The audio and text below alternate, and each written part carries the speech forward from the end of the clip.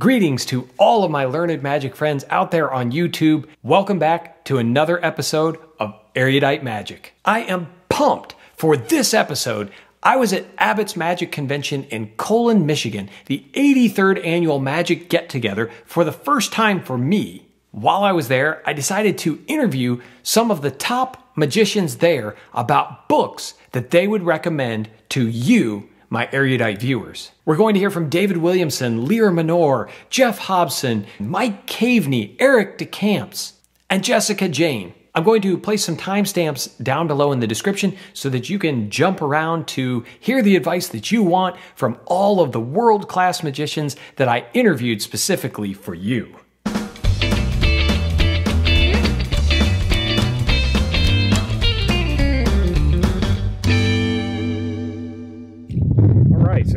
Jeff Hobson, who agreed to talk to us a little bit about his magic book collection and might have a story for us here about books and whether they're important or not. Yeah, yeah, yeah. With books, uh, obviously, when I was a kid, I mean, books from the library, my very first uh, book that I uh, got from the library uh, was uh, the uh, Amateur Magician's Handbook and the Classic Secrets of Magic by Bruce Elliott um, and a few others, and that's really what sort of solidified my love of the library. And then eventually, over the decades, I've uh, oh, I think I've about three or three and a half thousand books or so on, on magic and pamphlets and this and that. So okay, where were we? Oh yeah, so about the books. So uh, eventually, I, I had I started to move from Vegas, and I said, I'm you know this is a lot of books and I, I pretty much have read them all and I know what they're all and I use some as reference and after now I realized that I looked at my watch and I said oh look it's two minutes past a freckle. I said I'm going to be at a very important uh, part of my life where I said I, I can't be hauling around books anymore and I don't want my family to deal with it. So I said I'm going to get rid of them all and let them filter back into the magic community which I did except I sold them all except for three books which I kept. Uh, one uh, is special because it's the person that it's written by is very special, but but even just as important that his thinking as a scientist uh, applied to his magic and the way he performs, it's just sheer brilliancy. And that is none other than Gene Anderson and the book by Gene Anderson.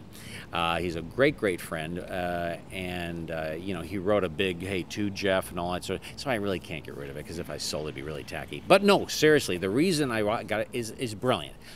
First page to last page, anyone get it should study it.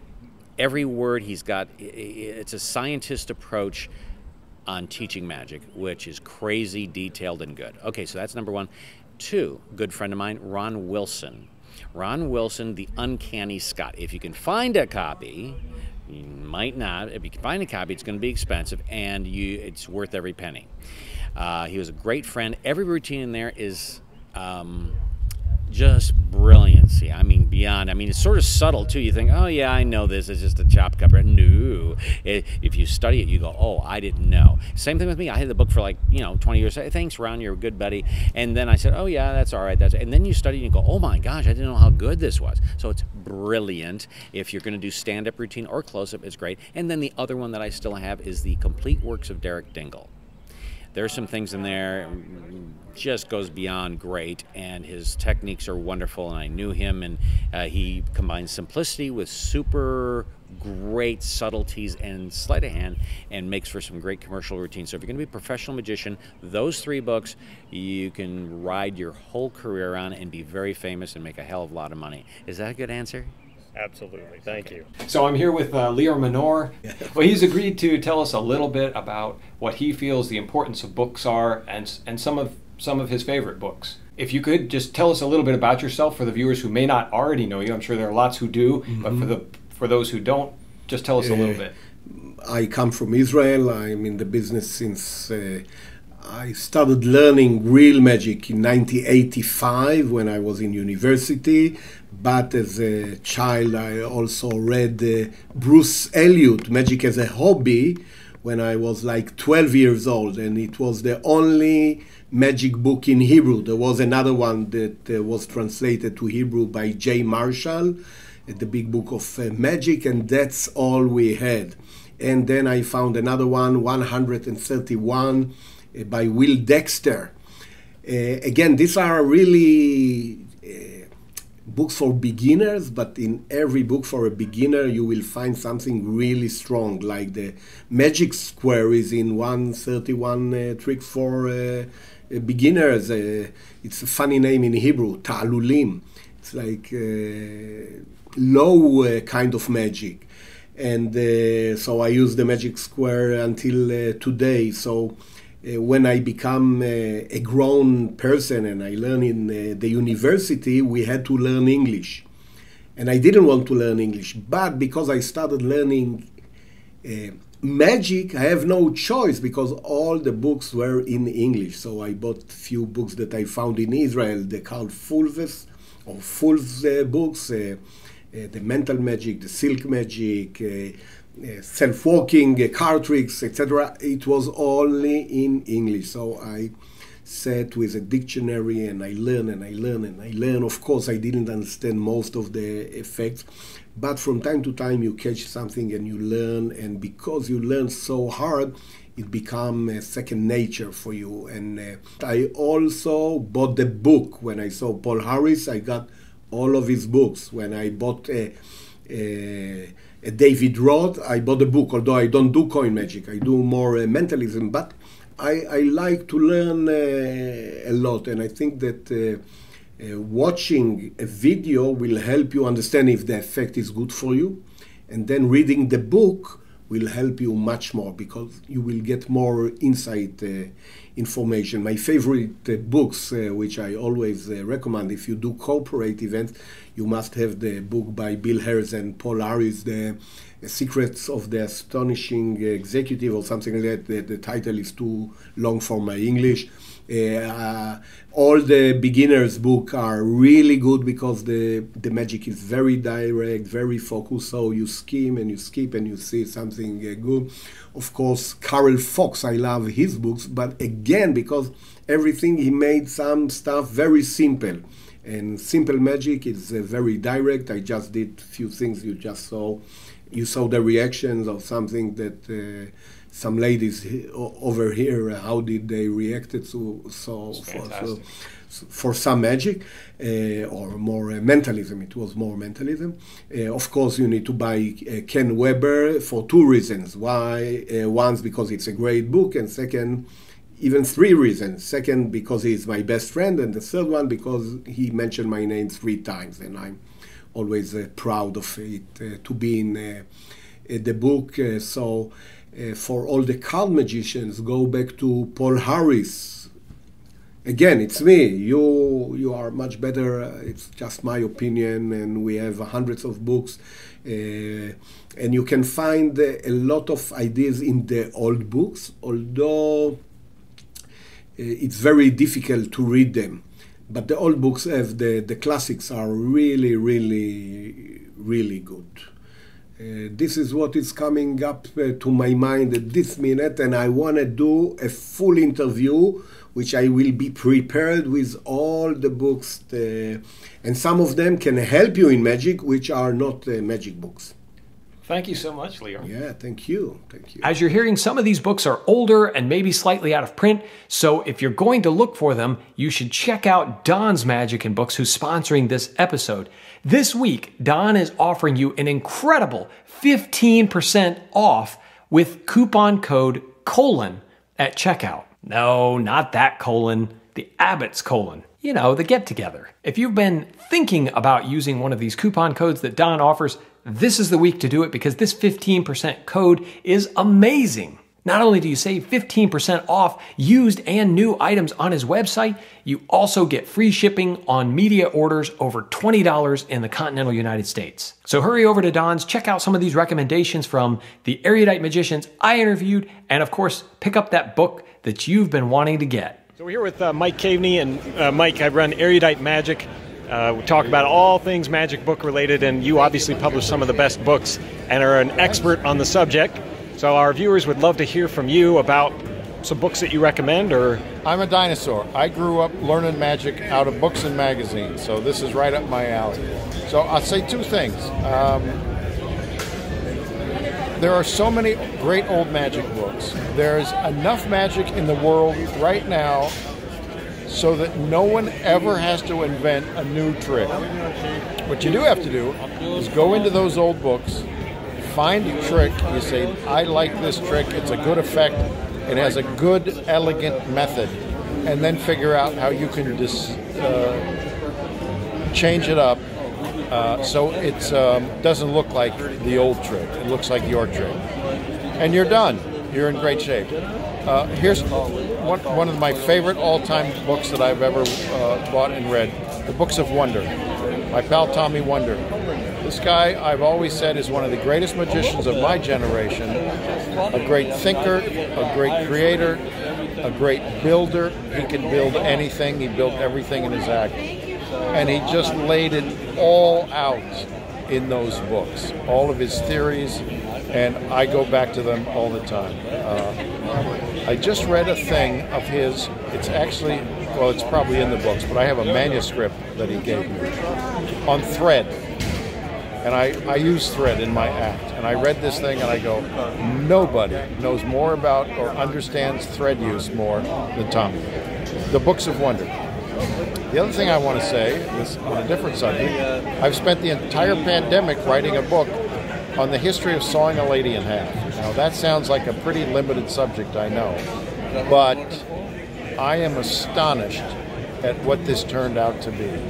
Uh, it is the history of magic, basically, for the past 100 years, and I mean exactly 100 years. It was 1921 when P.T. Selbit introduced his illusion, sawing through a woman, and that Horace Goldin sawed his first lady in. Uh, right up to all the new versions of the sawing trick that have come out, and everything in between. It's a fascinating story. I'm thrilled that it's done. It's on my website right now. I don't have the books yet. They are on a ship crossing the Pacific Ocean, uh, and, and you can read all about them on my website and I can't wait for people to see this book. Thank you, Mike. We Appreciate Yeah, it. sure thing, John. So here we are with Gene Anderson, and Gene, uh, I've known Gene since I reviewed his book, Gene Anderson, the book. We interacted, and uh, several of you had very positive things to say about it. And when I saw him here at Abbott's, he's been coming a long time. I said, Gene, I'd like for you to talk to our viewers here about books that you like, and spe- specifically books to which you refer a lot. And so I asked him to think about it, and he's come up with a response, and, and I'm asked him, I've asked him to share it here. Okay, well, this is funny, Jeff, but thanks for asking me. Well, the book I refer to the most, and I'm talking about weekly, is the book. It's my own book. Well, how can that be? Because there's something I got to refer to, and I either will look it on a, on a line of PDF, but mostly I just page right to it, and I tell somebody, or here's a quote, because I love quotes, and I tell them stuff, and I think of, I don't know, I'm good at connections, and so this is my most referred to book, and so that's what it is. Yeah. Thank you, Gene. You're welcome. All right, so welcome back to all the Erudite Magic viewers. We're here with Eric DeCamps up here in Colon, Michigan for Abbott's 83rd Magical Get Together. And uh, Eric lectured and performed here, and I ran into him and said, Hey, I talk about magic books, and I was hoping you would be able to tell us a little bit about the benefit of books in your career and maybe some of the highlights, books that you really like and recommend to uh, my viewers. Sure, it'd be my pleasure. Um, listen, you can't go wrong with Tarbell. Tarbell series is always a good foundation, especially if you're going to be working on something new and you want to go, what, what, what did these guys do back then? So if you're working on something, that's a great resource. Then I would also say um, there's a lot of other books. Uh, of course, Greater Magic, another great book. Uh, the Art of Magic by T. Nelson Down. Um, the Pallbearers Review, that's all bound, that L&L put out years ago. Some great stuff in there. But if I'm going to tell you, you're only going to get one book, one, one book that I would recommend that you could read that book and have that one book and become a professional magician, that would be Stars of Magic. That book is the book to get. And it's been reprinted by my pal Meir Yedid. He did a beautiful job of recreating it. And it, the, the material in there holds up fine. From the Scarne material to the tons of Vernon material in there to uh, the Jarrow stuff. Uh, the, Art of Using the Lapis Savant by Slydini, that's all there. Oh, and of course, Slydini Encores, another great book. to read. Or I can't stop. I can't stop. Slydini and More, another great book. You have the Slydini stuff, the Vernon stuff, the Vernon Book of Magic. How did I forget that? That's another great book. And uh, of course, the John Ramsay books were also very influential for me. But I got to tell you, Stars of Magic. That's my thing. Awesome. Thank you, Eric.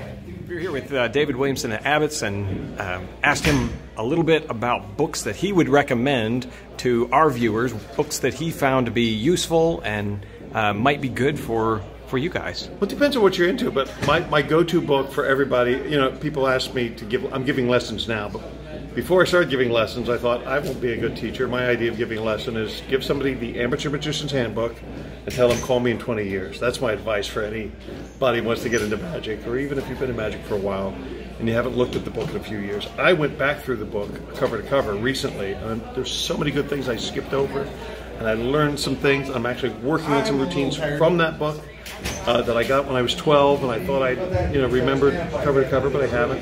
So that's my favorite book. If you're asking about books, Amateur Magician's Handbook, I just felt like he had a way of communicating. Barrows Mussey was his name. Henry Hay was his uh, pen name. He also wrote Learn Magic, which Mac and I were talking about today. Uh, Mac King was saying that was his first favorite book. Henry Hay's Learn Magic. Mine was Amateur Magician's Handbook. But uh, he had a way of communicating uh, you know, his opinions came through very strongly about how what's good, what's bad in magic, you know. But um, yeah, there's I don't know, there's a plethora of good books out there. Find one from an actual performer, not a hobbyist. Oh wow! Hobbyists have been publishing books forever, card guys and so forth. Find out what they did for a living. Oh, you're a plumber, huh? okay and you worked at the Magic Castle because you hang out there every week. Okay, so I'll I'll put that in a certain category of hobbyist books, you know, and great thinking came out of that. I put books by actual professional performers who grinded out shows and worked in front of audiences and cut through a lot of the silliness that wouldn't work for a paying audience that the other guys don't even know exists. That's in a different category. So maybe think about books in that way. Uh, would be a piece of advice. Well, I appreciate the advice. Thank you for your time, David. My pleasure. Hey guys, welcome back to Erudite Magic.